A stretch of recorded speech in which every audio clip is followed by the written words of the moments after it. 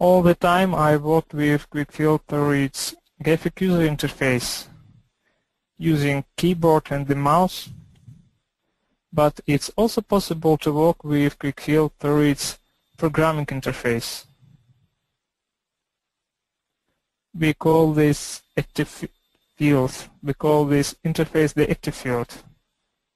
You can control QuickField from within other Windows applications including your own application or, for example, Office macros. All actions you do through graphic user interface are available in programming interface too. We utilize this interface ourselves when developing add-ons to QuickField Core package and I would like to show you one of them, the label mover. Label mover is a small utility. It is good for parametric analysis. It can perform serial calculations, tolerance analysis, and optimization. So let me show you.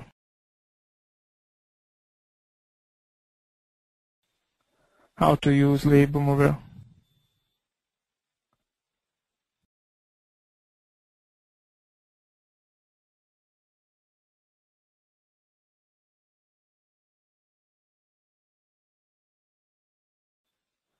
This is my inductor.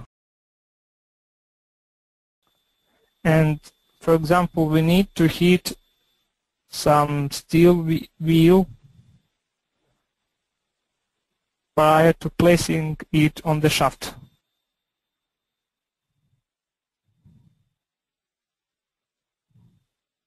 This is my steel wheel, but I have the same inductor, but I have other object to hit. So we have other value of inductance and we have to adjust either the frequency or the capacitance of our AC power supply. Yes, this is AC magnetic problem with the same frequency. And I have the external circuit now attached to my problem. And this is the power supply this is my heated body and this is my conductor, my coil.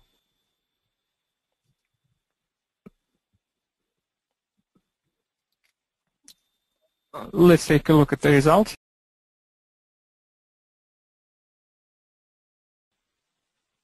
Here is the current distribution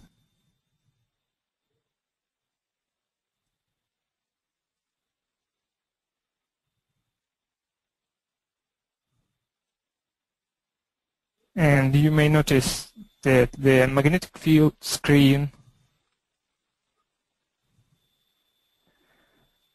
would be useful here. I don't need to hit this part of my body.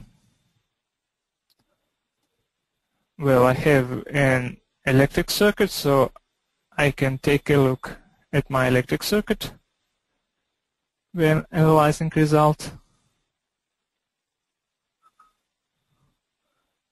Now my voltage supply has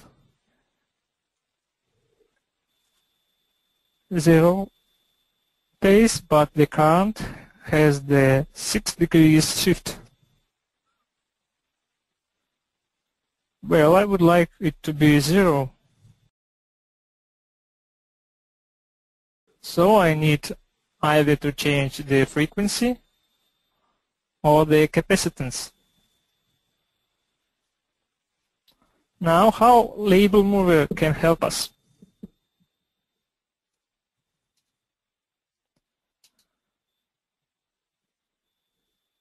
Let's perform a simple optimization. I choose my base problem, my inductor. I would like to measure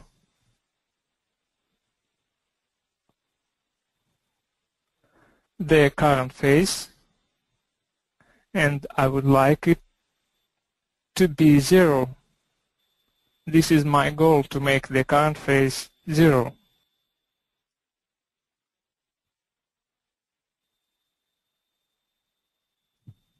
What I can change?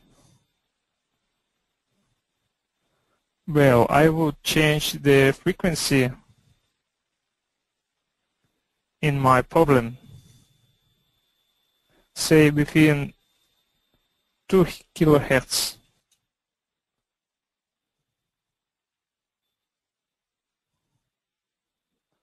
So I have the base problem. I specify the value I would like to have and I specify the variation. Now let's do optimization.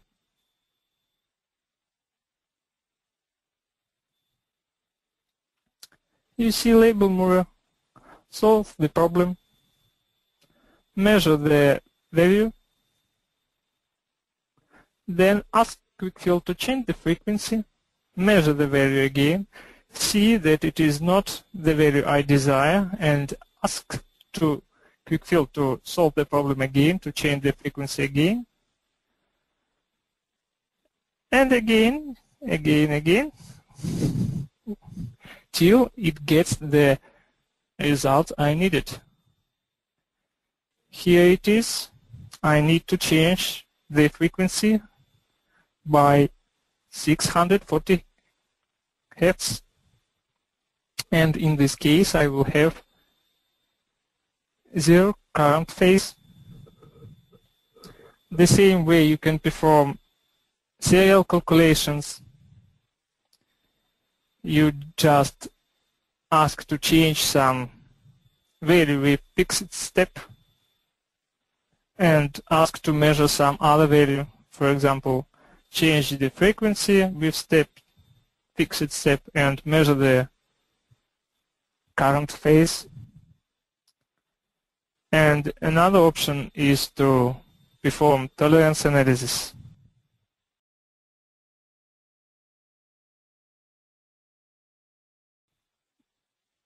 That's all for now with QuickField. Thank you.